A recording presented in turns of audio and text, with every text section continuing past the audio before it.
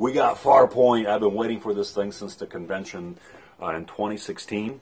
So I have a whole bunch of these. Now I get to unbox it, install it, and put it into the virtual reality game truck. Let's check out and see what's inside. The gun. Let's have a look at this thing. All right.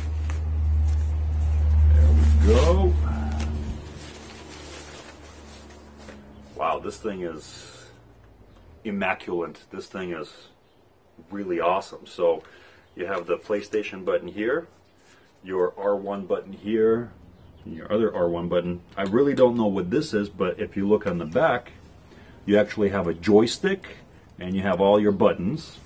And then you have another joystick right here. And from what I remember, this is the how you walk. So this is pretty cool. So you have more stuff here. And then you have your uh, shoot buttons right here. So that's the gun. I love it. Looks very nice. Thank you, Sony. Okay, now let's look at the game packaging.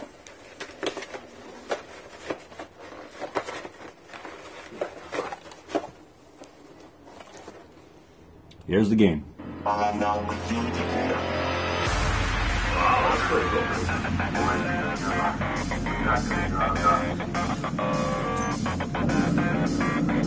Roger that program. This is Wanderer. Our docking sequence engaged.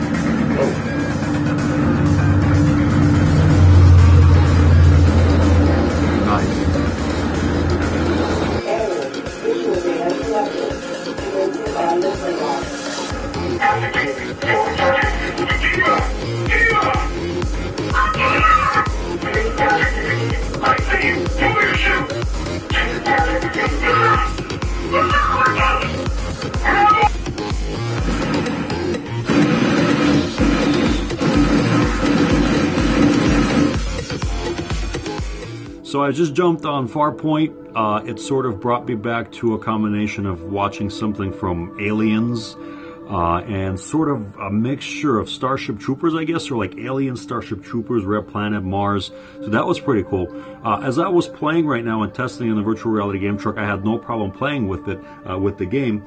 And uh, one of the actually really cool things is, and this is something I've planned for way in advance, there's a little ledge to which I could put my butt right up against the, that basic ledge. Or, you know, if a player, when they come in in the virtual reality game tray, they can lean right back against it. So as they are holding their gun, they don't get motion sickness. That way they can uh, much better orientate where they are and they don't actually need so much space because as long as there's slightly something touching their back, they are okay. So Farpoint is definitely on the menu for the virtual reality game truck.